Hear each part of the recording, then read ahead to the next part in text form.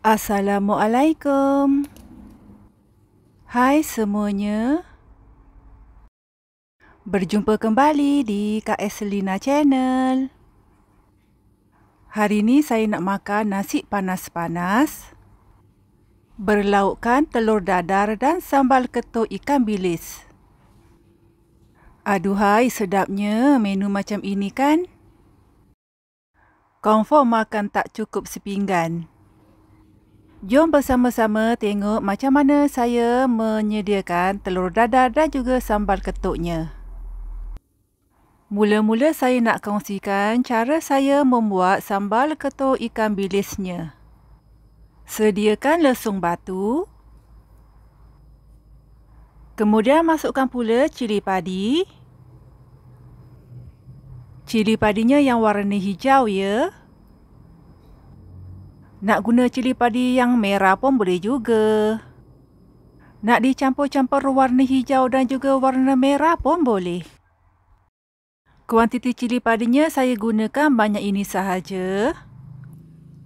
Kemudian masukkan pula ikan bilis. Ikan bilis ni saya pun masukkan agak-agak juga. Nak senang kira ikan bilis dan juga cili padinya sama banyak. Barulah seimbang. Kemudian masukkan pula satu ulas bawang putih. Bawang putih ni boleh ditambah lagi ya. Tapi jangan banyak-banyak nanti rasanya tak sedap. Masukkan pula garam secukupnya. Walaupun ikan bilisnya dah masin, kena juga masukkan garam barulah mantap rasanya. Tambahkan pula gula secukupnya. Gula ni boleh saja tak dimasukkan ya. Tapi kalau dimasukkan sedikit, rasanya nanti akan lebih sedap. Cili padi, ikan bilis dan juga bawang putih tu kena dicuci dahulu ya, kemudian ditoskan sehingga kering. Kena betul-betul kering ya, barulah boleh disatukan dan ditumbuk. Cili padi, ikan bilis dan juga bawang putih ni mentah ya sepenuhnya. Tak digoreng pun. Jadinya bagi sesiapa yang tidak suka makan makanan yang mentah, tak perlulah cuba resepi ini. Takut sakit perut pula. Tapi apa salahnya nak cuba pun boleh. Saya akan tumbuk ke semua bahan-bahan ini sehingga separah lumat. Kalau hendak ditumbuk sehingga lumat pun boleh juga ikut cita rasa masing-masing. Nak buat sambal ketuk ni kena guna lesung batu. Rasanya sememangnya akan lebih sedap. Nak dikisar sememangnya sangat tidak sesuai. Bolehlah rasa kalau tak cukup masih manisnya boleh ditambah lagi garam dan juga gula. Ikut cita rasa masing-masing. Gaul-gaulkan sambal tu sehingga sebati. Sambal ketuk ikan bilis ni tahan lama tau. Jadinya kalau buat banyak pun okey saja. Banyak juga kan sambal ketuk ni? Tak perlu pun digoreng-goreng dah siap sambal ketuknya. Kalau hendak ditambahkan perahan limau kasturi pun boleh. Saya buat sambal ni macam ini sahaja. Tak ditambah pun perahan limau kasturi sedap juga rasanya lebih sedap. Senangnya nak membuat sambal ketuk ni kan?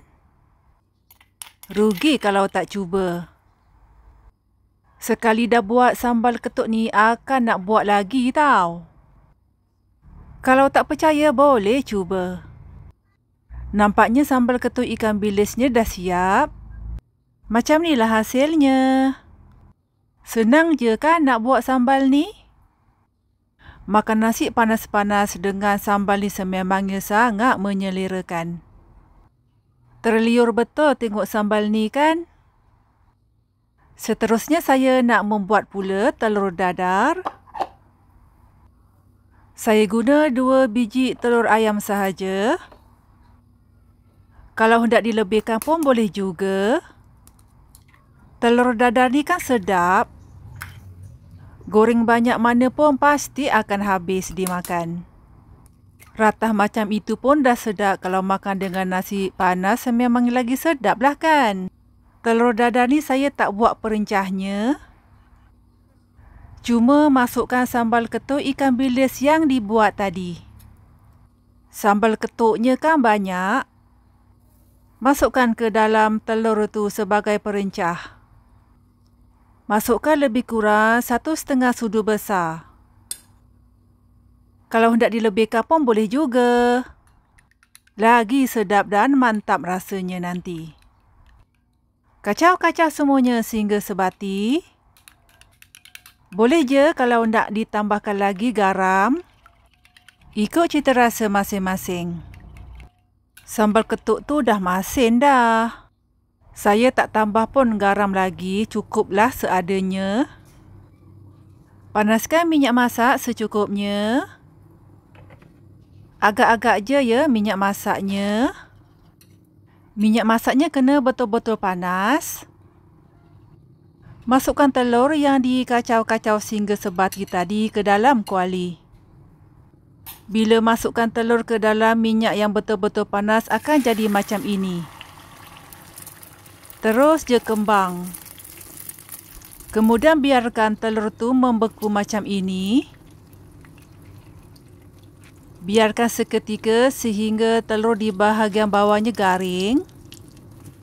Guna api sederhana saja ya.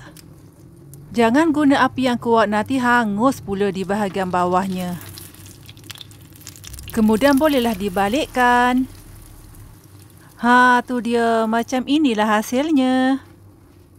Balikkan sekali sahaja, tidak perlu dibalikkan banyak-banyak kali. Apa-apa pun terpulang kepada cara masing-masing ya kalau hendak menggoreng telur dadar. Setiap orang kan mempunyai cara yang berbeza-beza. Boleh je kalau nak cuba cara yang lain pula. Apa kata cuba cara ini? Cuba try jadikan sambal ketuk tadi sebagai perencah telur dadar. Dah siap dah telur dadarnya. Senang je kan nak buat telur dadar ni? Sekali-sekala bolehlah cuba resepi simple macam ini. Agak-agaknya cukup tak makan sepinggan. Macam tak cukup je. Kalau nak tahu betapa sedapnya makan macam ini, kenalah cuba. Buat orang lapar je kan? Nampaknya memang kena masak macam ini.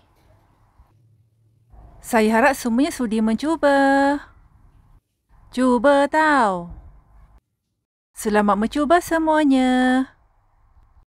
Terima kasih.